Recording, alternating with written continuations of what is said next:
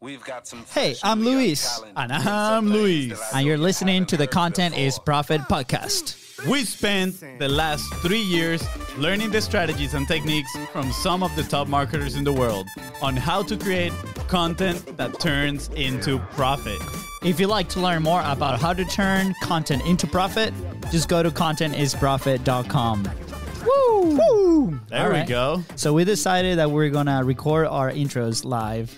Yeah, we're gonna first. do that a little bit different. Maybe maybe we're gonna have an intro just for when we edit the videos. We're gonna plug it in, but as we do the podcast, we're gonna do them live. Yeah. So I hope that was okay. Yeah, I What do you guys think? What I do you guys think think? That's a good good decision. It's, it's fun too. You know, get get in the vibe, get the energy up. yeah, dude. So finally, first uh, first episode ever. How do you think? What Yeah. like? What do you think? Fun story. This is actually not the first episode ever. Um, we actually recorded a few a few months ago. we, few- a few we, months ago. we actually had them in Spanish. We had some in English. The thing is, we got so technical with it that we never got to edit the podcast. So this time we decided to keep it simple, just one camera recording both of us, and let's just get to talking. Pretty much. All right, we have this thing too. Yeah. Yay! Good choice. So that that's a little bit of a fancy toy that we decided to purchase a few months ago, and that's kind of like when we started. But you guys don't need this, okay? Yeah. So before we start with today's episode, I just want to get everybody on the same page, right? And Luis Daniel, can you tell me a little bit about what are we gonna be talking about in this podcast? In content is profit. What is content is profit? Content is profit is basically the new company that we decided to kind of start. Like it's a new twist and is focused on how the content that you produce and the things that you publish on a daily basis can turn into profit for you and your business. What does that mean? We're gonna discover that in the episodes to come. So There leave it to that. Does that, right. does that make sense? I hope it does. I hope it does. If if it doesn't make sense, please leave us a question. We are gonna be ans- getting back to those as soon as we can. All right.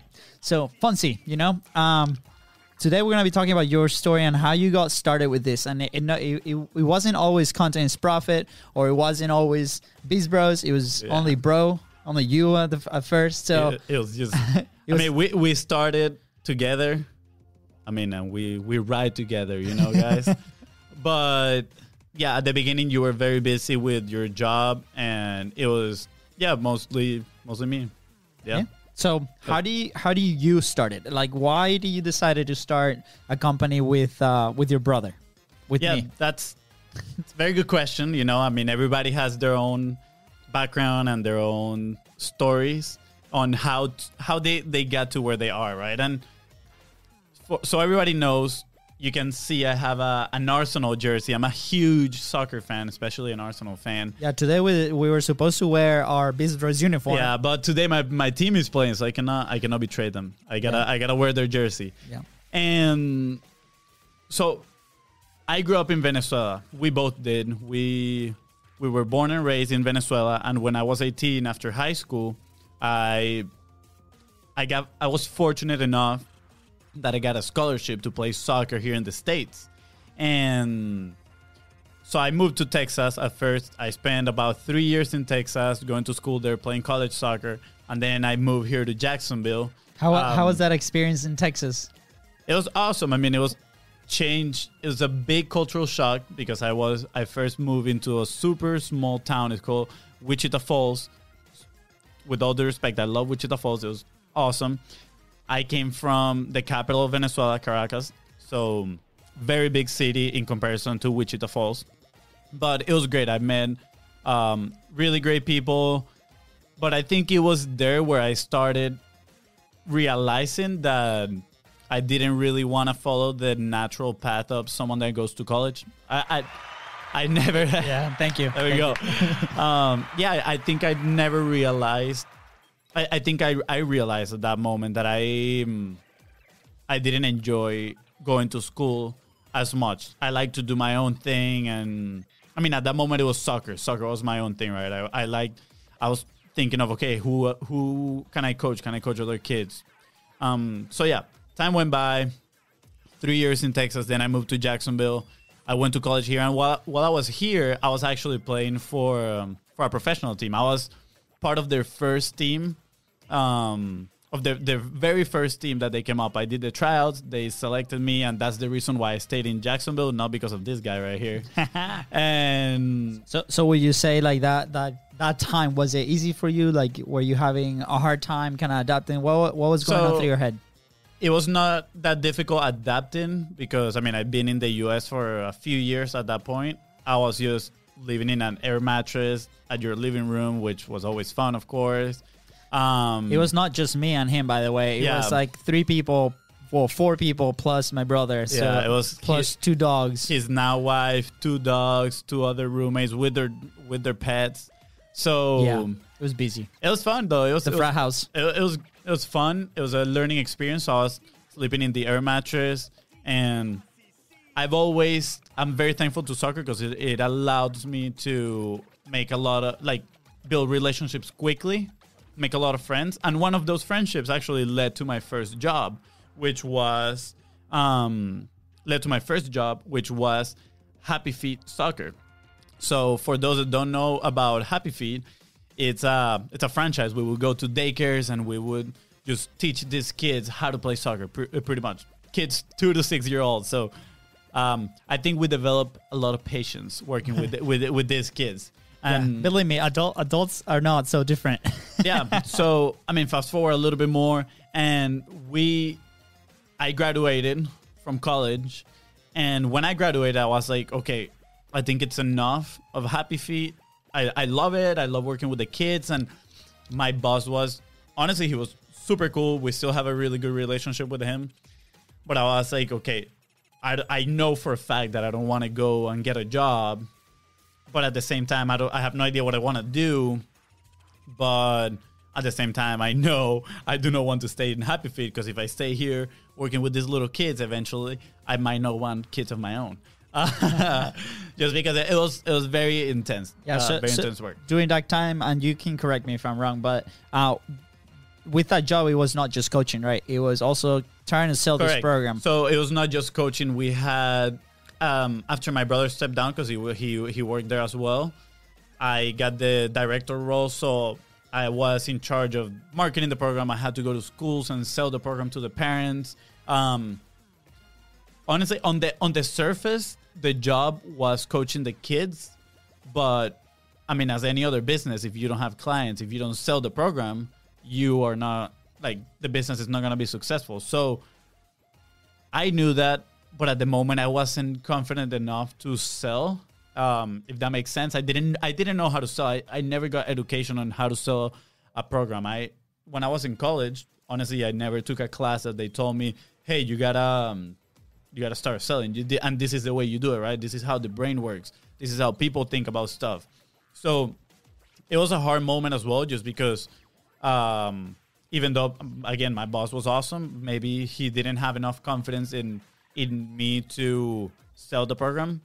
Uh, but as everything it was a good learning experience. So one day i remember i was driving to one of the schools and at this point i've always like googled you know kind of like oh how to make money online. Even when i was a kid i was always like how to make money online huh? how to make this online? And i run into clickbank and just a bunch of like affiliate marketing stuff but i've never actually paid attention to that. I remember looking at the big sales pages and i would like scroll through them. It's like what what is this? Like why why people write so much right? Like just go straight to the point.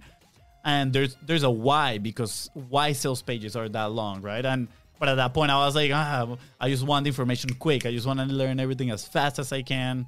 Um but again that's that's a conversation for another day. Um so at this point i'm researching and i found this book. It's called um, dot-com secrets by russell brunson. And i was waiting to go into a school and i was reading this book right? And i was like oh man like this is super interesting. It li- it goes in depth on how to build pretty much a business online. And i started reading it and in my mind it was just like blowing into pieces. I was like oh we can do so much with this. And that moment i think that that moment should change Also- my, my perspective on, on business a little bit on how to how to approach business Also, I Um, think we, we were already kind of having that conversation in the background, right? Like we are like trying to, okay, what are we gonna do? And uh, yes, you know, we, we had some ideas, but we never really knew, you know. Yes, definitely. I mean, I remember you told me once that you were starting um, a business. I mean, you didn't tell me once. You you kind of like started it a blog called Mass Life. Oh yeah, and we actually had an event and everything on the on a summer. we'll talk about that Um, in the next yeah, that- episode. Don't worry. That's for that's yeah exactly that's for next guys- episode. Yeah, But yeah, we we already kind of we were having that conversation in the background. So I ran into this book, bought it, started reading it. I remember the exact same place where I was. I was in front of a Panda Express. uh, don't judge me, please. It's I love Panda Express, but I was sitting in front of a Panda Express in my car reading this book, and I mean it was interesting because what was that? that's that, a- that was a gong moment. that was my epiphany right there at that moment. And I mean, it was, it was honestly, I read this book and I, I, my thought was, I need to go back to my brother and tell him about this to just share it with him. So I went back, we started talking, and right at that moment, we ran across an advertisement from this guy called Tai Lopez. I know a lot of you might not be fans of him.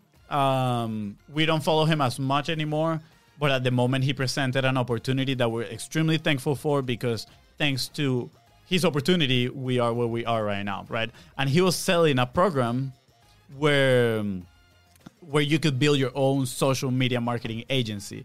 And my brother and I looked at each other and we were like, okay, how much does this cost? It was uh, it was a thousand dollars. I think the course was a thousand dollars, and it we're, was a yeah. We look at each other. We're like, do we have a thousand dollars? We're like, no, we don't have a there thousand was dollars. there was no cash at the so moment. we're like, okay, do you have a credit card? I didn't have a credit card. My, mines were like Ma- all maxed out. yeah maxed out, and he was like, I have a credit card. Like we can put in a credit card. And we're like, you It- know what? It wasn't that Sometimes- simple, believe me, guys. It wasn't that simple, but we yeah, did it. Like we were like sweating. It's like, should we do it? Should we not? You know, at that moment, we didn't really know the power of investing in yourself. That was actually our first big investment in ourselves. And More than college, because you know, uh, up to this point, we both went to college, but we were both on a soccer scholarship. So we did work for you know for those degrees. yeah, we played and sweated and, and did a lot of workouts and performed for four years straight, so we could afford college. But money wise, like out of our own pocket, uh, I think that was the first time that we invested that, that big, right? yeah, no, definitely. That was definitely the, our our first biggest investment. Uh, and it honestly it paid out. It, it felt huge, you know. It felt Ri- huge. Right now, it might not feel. For some people, it might, but yeah, uh, at that moment, it felt really big. yeah, it felt big. It it paid out though. So So what what We- would you say like after that investment? Like what did you come up with a plan? Did we come up with a plan? Like what was like the next the next step? after we invested, I mean, you were still working at that moment with in the within the fitness industry, and we were like, okay, we're gonna start working with restaurants, right? We saw restaurants as a, as an easy prey. We're like, I mean, you just take pictures of food and people go by, right? But we didn't have a lot of the concepts and principles that we know now, and we didn't know how to run a business. We didn't know how much to charge anything. I mean, I remember the first restaurant that I pitched. I was like, they, they asked me how much do you charge? I was like, uh, five hundred bucks. I was like, oh no. I, out of fear. I was so scared. I was so scared. I was like, I've never charged so much for anything. I mean, I've never charged for uh, the the membership that I used to charge for in in Happy Fit, my first job, was thirty bucks a month. So And we were 30 and we were scared to sell that. to exactly to 500 a month i was like oh man i'm, I'm like super crazy but but now looking back into it i think it was the lack of confidence of me of us being able to deliver right we, we, we didn't we didn't have that trust in ourselves that we were able to deliver um, the, the product the service but again story for another day so I think our plan was going to that, and then I mean we stumble between you know like we're charging way too little. Um, we're like all over the place. What no, no what processes. exactly uh, what exactly were we doing with those restaurants? Yeah, so it was we we started focusing on content. Just like hey, uh, we'll come, we'll take pictures of your food, we'll just manage your Instagram, your Facebook, we'll just post it. You don't have to take care of any of that, right? And then like that's pretty much it. Like you you'll get clients, but let me tell you, it's not like that. It's, it's not as simple as that. Um, and there's so much that goes into this with restaurants. I mean, not restaurants, but any business in general. Uh, but I'm gonna kind of like just go above it all. Yeah, that, that we'll we'll tell those stories like in debt, but like maybe what was like the biggest lesson right after working with these restaurants and Yeah, I mean, uh, presenting the content the way that we were doing it, right? Yeah. What, what maybe what was that biggest? I mean, big for- honestly, for me, the biggest lesson is that we were undercutting ourselves. You know, we were we weren't charging enough uh, for the amount of work that we were doing, but also is because, again, like I said, we weren't confident enough in what we were offering, and and then we didn't have any processes. We would just go randomly like, okay, what do they need, and then we started doing certain things. But also, we noticed that the content that we were doing it it wasn't working right because it didn't have a purpose. The content didn't have um, a call to action. It didn't call people to bring them to the restaurant. It was just like cute pictures, and that that that's it, right? and and, it, and it's great that you that you mentioned this right? Because nowadays we see a lot of people that are very active on their social media right? Are they very active publishing and and if you the, the main thing here i think is like if your objective is just to put out information out there and uh, nothing wrong with that right? Uh, but if that's the goal great. But if your goal is to use this content and the publishing machine that you eventually can build right um, as a sales driver we need something in the back uh, where you can direct people to right so at the moment that was some of the things that we were selling and uh, we weren't seeing it right we were we didn't know how to track it right is that is that is that accurate Yeah, I mean, very very accurate. You know, um, the restaurant, and and also they didn't know their numbers as well. So when we shared that information, they shared that information with us. We didn't know exactly what to do with it. Uh, we didn't know how to measure and track the results, like he was saying. Uh, so it, it became very very challenging. So at the end, we actually stopped working with them. Um, we actually engineered a little plan, a little master plan, where my brother he took me to he actually took me to to his fitness studio where he was working, and we presented everybody uh, on how our content strategy could help their business, right? And at this point, we were more educated. We were gaining confidence in what we what we offer, and so they actually hired me, kind of like a subcontractor slash employee. Um, so I started working with them for all their studios here in in Jacksonville, Florida, where we are, and we we started testing lots of things, right? Like what type of content. We started, and while we were doing all this, we were educating ourselves as well. We are following marketers like Russell Brunson. We started running into Steve Larsen, right? Which he is now we consider him our mentor. He's amazing, um, and many others. I, I also think a very important factor here was that the, the studios that we brought this into, like fitness wise, right? It's very, it's a lot of very active people inside of the business. Yeah. Like you have coaches, you have the members, right? And they were actually willing to do this, right? So that's maybe one of those steps that if you're if you're looking into that content creation, that publishing, right? And we're gonna talk about the different types and video and so on. At the time, we are doing video with them, right? And we had these awesome personalities that they were not fearful to be in front of a camera, right? And if you are, there's ways to make Yeah, that a little bit better. totally fine. So it, it helped us a lot to to try different things, to be consistent, to to do a lot of tries, right? Yeah. And uh, and that was very very awesome. Very awesome. Is that a thing?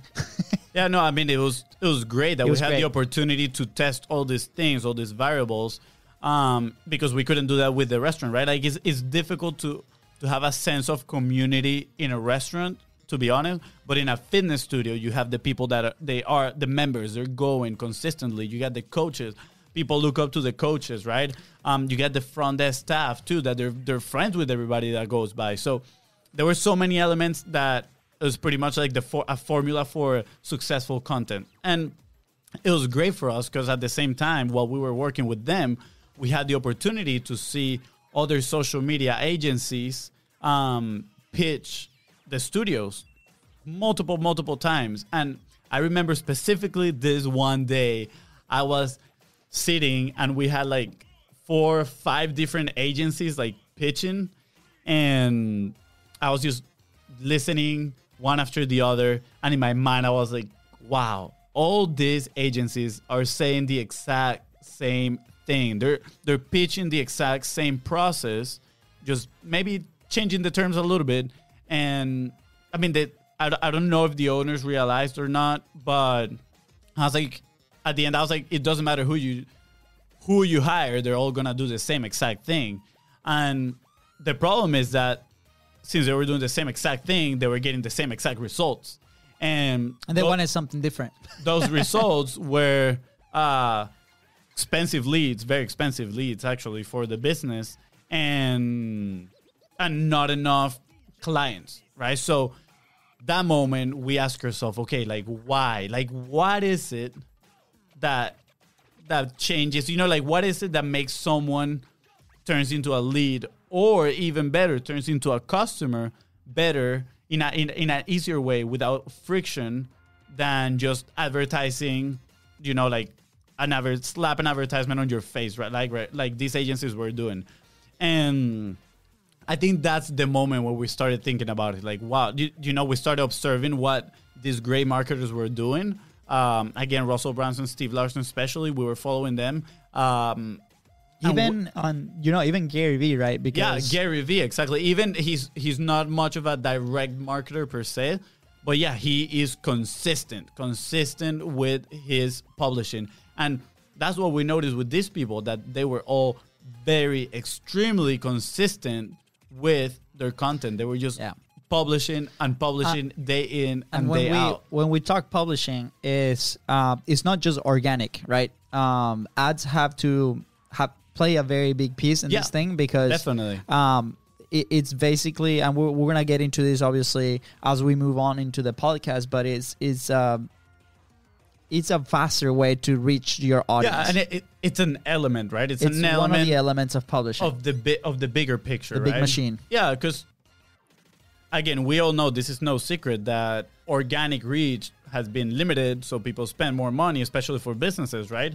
Um, but you cannot just slap an ad on someone's faces and pretend that they're gonna you're gonna create trust that way and they're just gonna buy immediately for you right like there's there's gonna be a lot of frictions they're gonna have questions they're gonna have um yeah they, they want their questions answered by you Yeah. so, So so after after identifying those little items, right? What uh, how like from that moment on, how how did this transform into contents profit? Yeah. You know, from your point of That's view. that's a great question, right? So fast forward a little bit more, and I stopped working for that studio, but fun stuff like fun anecdote, I guess. They hired us as we they are our clients now. I guess that's that's how you say it. And We're in this together. yeah, we're in this together. But yeah, we transitioned. We started.